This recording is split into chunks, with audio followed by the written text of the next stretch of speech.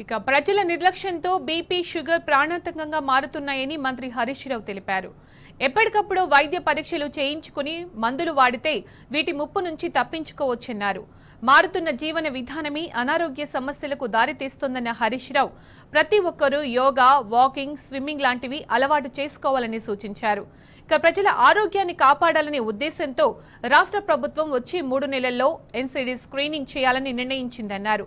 Global hospitals cardiology society of India hypertension పై నిర్వహించిన survey ఫలితాలను మంత్రి హరీష్ రావు వెల్లడించారు.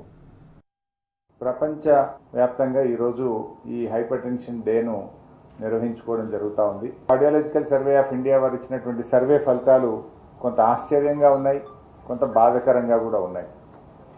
మనం కొంత వెంటనే తేరుకొని జాగ్రత్తలు తీసుకోవాల్సిన అవసరాన్ని కూడా ఆ సర్వే ఫలితాలు మనకు సూచిస్తూ ఉన్నాయి. హైపర్ టెన్షన్ అనేటువంటిది చిన్న డిసీజ్ అయినా it will lead to bigger problem పట్టించుకోకపోవడం వల్ల నిర్లక్ష్యం వల్ల చాలా మంది తమ విలువైనటువంటి ప్రాణాలు కూడా కోల్పోతా ఉన్నారు.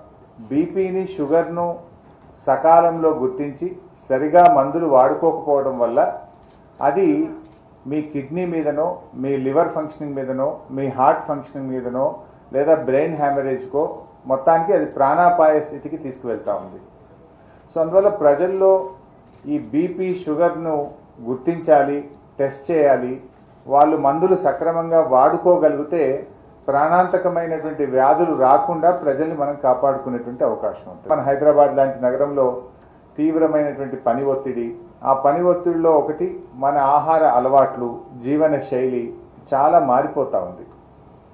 అయితే ప్రజలు తమ ఆరోగ్యాన్ని కూడా పట్టించుకోకుండా బాగా ఒత్తిడికి లోనవుతా ఉన్నారు. ఇంకా పర్టికులర్లీ మొబైల్ ఫోన్స్ వచ్చిన తర్వాత ఇంకా ఉన్న కొద్ది సమయాన్ని మొబైల్కి ఇచ్చేస్తున్నారు. ఇంతకుముందు కొంత స్పోర్ట్స్ ఉండేది ఫిజికల్ ఫిట్నెస్ ఉండేది యాక్టివిటీ ఉండేది సమ్ కల్చరల్ ప్రోగ్రామ్స్ ఉండేది. ఇప్పుడు ఏమైపోయింది either you work or you spend your time on your mobile there is no fitness ముఖ్యంగా మన తినే ఆహారంలో కూడా అన్హెల్దీ డైట్ కూడా పెరిగిపోయింది. బాగా జంక్ ఫుడ్ ఎక్కువగా తింటా ఉన్నాం. So health is wealth without health there is nothing so దాన్ని మనం ఇవాళ సమాజం కూడా గుర్తించాల్సిన అవసరం ఉంది. By another three to four months రాష్ట్రం మొత్తం కూడా hundred percent BP and sugar NCD non communicable disease screening complete చేయాలని చెప్పి ప్రభుత్వం నిర్ణయించింది. అందులో ఇప్పటికి మేము తొంభై లక్షల మందిని స్క్రీన్ చేయడం జరిగింది. దీనికి బడ్జెటరీ ప్రొవిజన్ కూడా ఒక ముప్పై మూడు కోట్ల రూపాయలు just for the screening and medicines కోసం డబ్బులు కూడా పెట్టుకోవడం జరిగింది. దీని ఒక స్పెషల్ డ్రైవ్ లాగా రాష్ట్రంలో ఉండే ఏఎన్ఎంలు ఆశాలు పిహెచ్సి డాక్టర్స్ ఈ కమ్యూనిటీ హెల్త్ వర్కర్స్ అందరినీ కూడా ఒక టీం లాగా మానిటర్ చేసి చేస్తా ఉన్నాం. స్క్రీన్ చేయడమే కాకుండా ఉచితంగా ప్రజలకు మందులు ఇవ్వాలని చెప్పి కూడా నిర్ణయించాం. ముఖ్యంగా ఇది ఎందుకంటే మందులు సక్రమంగా వాడగలిగితే ఏం ప్రాబ్లం లేదు.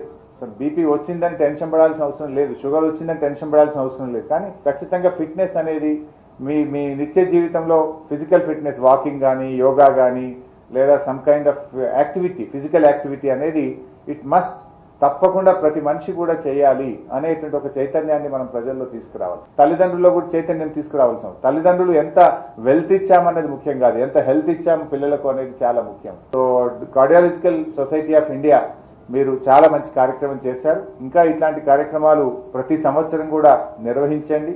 మీ యొక్క results definitely an eye opener మీ నగర ప్రజలకు అందరికీ కూడా ఒక ఐ ఓపెనర్గా ఉంటుందని ప్రజలందరూ కూడా దీంతో కొంత సెన్సిటైజేషన్ పెరుగుతుందని చెప్పి నేను భావిస్తూ మరోసారి మీ అందరినీ కూడా మనస్ఫూర్తిగా అభినందిస్తూ థ్యాంక్ యూ వెరీ మచ్